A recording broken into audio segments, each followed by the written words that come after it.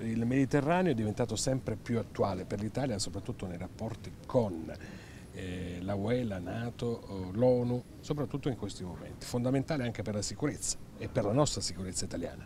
Beh, il Mediterraneo è un luogo di scambio, di incontro, di pace, eh, è un luogo in cui eh, è uno spazio su cui si affacciano eh, storia, culture, religioni diverse, che è stato sempre un luogo di incontro e dobbiamo preservare questo ambiente come un ambiente di cooperazione e di collaborazione, certamente con uno sguardo ai riverberi della situazione di conflittualità in Ucraina, eh, ai riverberi nel Mediterraneo e per questo dobbiamo mantenere alta l'attenzione eh, per preservare un asset fondamentale per la nostra sicurezza. E da questo punto di vista l'Italia non può che essere un paese impegnato in questa dimensione, in questo lavoro perché l'Italia è proiettata nel Mediterraneo, la sua storia è nel Mediterraneo e lì dobbiamo svolgere il nostro ruolo.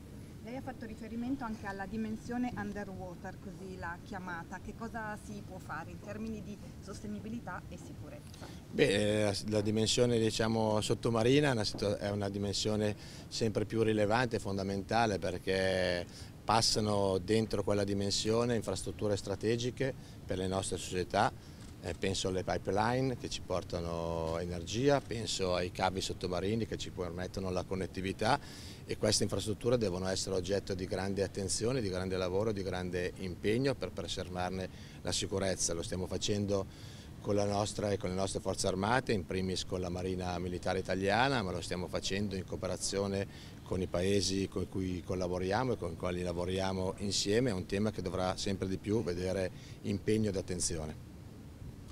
La linea politica non cambierà?